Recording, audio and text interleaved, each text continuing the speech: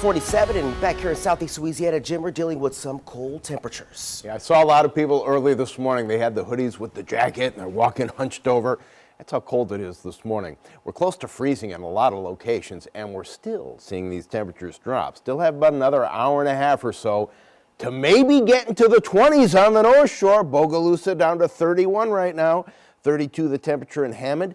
I thought we'd be a little closer to 40 in the metro area and yes, at the lakefront at the airport, we're significantly warmer, but Belle Chasse at 35, Houma at 39. Cold no matter where you are first thing this morning. Here are your current conditions at Louis Armstrong International Airport. 49 degrees, the warmer temperature there.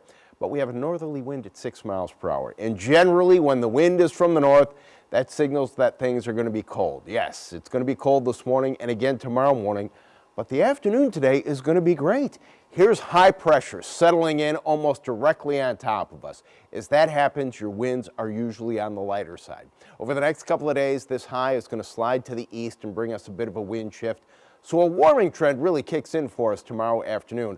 But there's a lot of cold air out there right now. Temperatures well below freezing in places like Dallas. There are 20. They could get down into the teens in Dallas, 32 in Houston.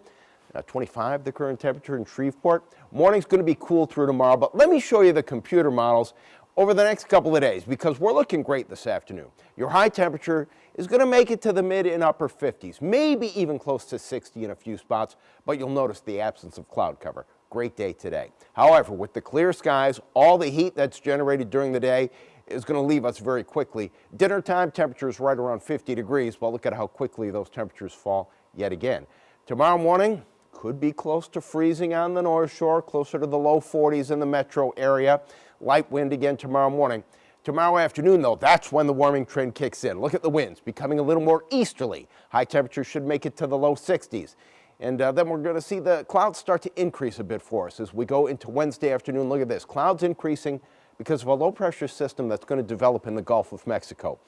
Generally, we think that most of the rain is going to stay to the south of us. Here are the computer models taking you from Thursday to Friday into Saturday when we may see a few showers, but the showers should exit by Sunday. Having said that, here's one other uh, computer model, the European model, which shows us a little bit wetter Friday into Saturday. As of right now, we're just calling for isolated to scattered showers Saturday and a mainly dry day Sunday but we reserve the right to maybe bump that chance for rain up just a little bit if indeed that European model looks like it's going to validate. Sunny skies, less breezy and cool. High temperature in the upper 50s. Real nice afternoon after the cold start today. Clear skies and again cold tonight, close to freezing on the North Shore. And then a cold start with mostly sunny skies tomorrow. That's when the warming trend kicks in. Back to the low to mid 60s for the afternoon high tomorrow. And we're still going to be on the cool side in the morning Wednesday and Thursday, but the breeze is going to be picking up for us thanks to that area of low pressure developing in the Gulf. So breezy for us Wednesday, Thursday, and Friday. Right now, a 40% chance for showers Saturday, and for Sate Sunday, mostly dry, just a 20% chance for showers. But high temperatures still a little bit below normal all the way through the weekend. That is your WDSU first warning forecast.